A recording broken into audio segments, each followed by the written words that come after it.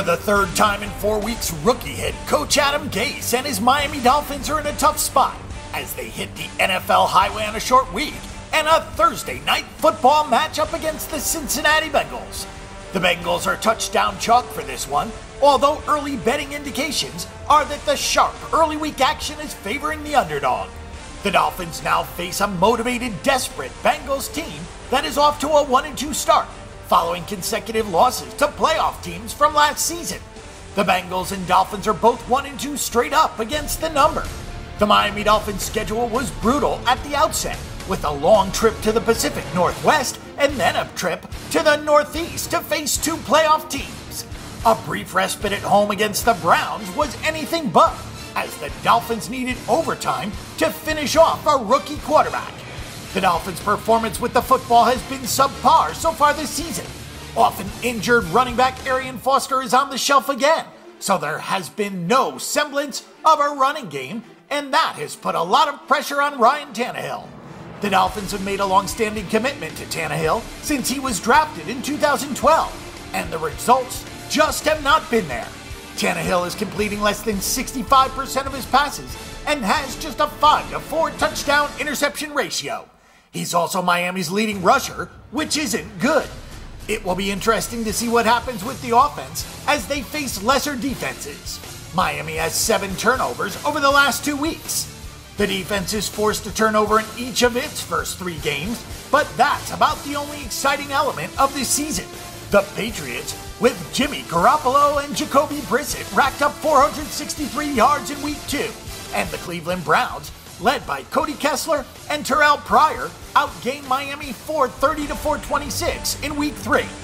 The Dolphins do have 9 sacks, but they can't get off the field because the offense is just so bad. The Dolphins defense has been out there for 237 plays, 15 more than any other team in the NFL. The story is basically the same for the Cincinnati Bengals this season.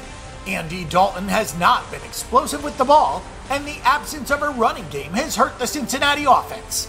Cincinnati has turned it over five times on the season, and fumble luck has not gone the team's way.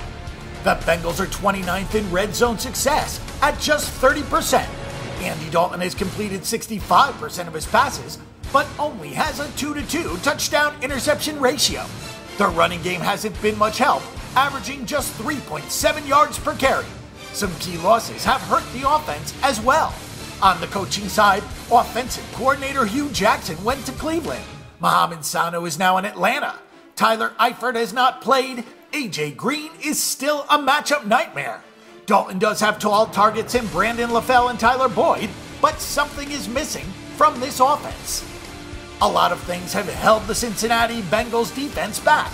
They're in the middle of the pack in third down conversion percentage against they're 22nd in the field, with opponents' drives starting at the 30 yard line. The Bengals haven't generated enough negative plays. They have four turnovers, but they have only four sacks. The secondary has been excellent, holding opponents to a 57% completion percentage.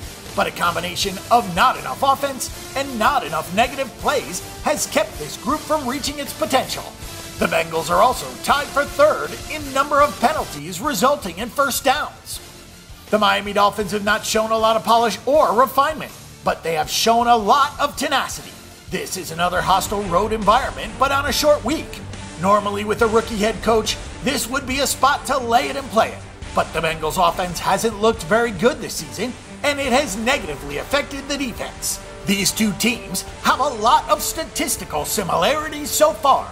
So as long as Ryan Tannehill takes care of the football, this looks like a low scoring game and the points are the preferred side in that situation. Our pick is with the Miami Dolphins at plus seven.